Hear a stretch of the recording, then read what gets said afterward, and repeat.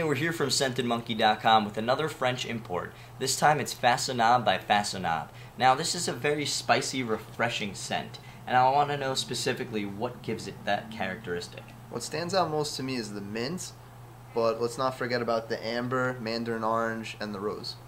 That's an interesting combination. Now, I'm trying to think, is this going to be something that I would wear, you know, to the club, to play, to hang out? Or is this going to be trying to take myself a little more seriously, wear it at work, you know, more formal wear? What do you think? I definitely think this is a work cologne.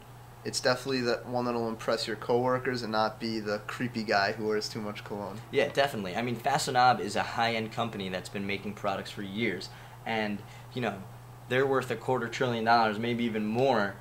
I think this represents definitely, you know, that high-end, great quality that they represent.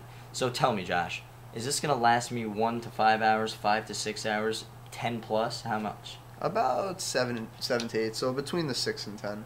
Awesome. So this is definitely going to last me that entire workday, so I won't have to worry about reapplying.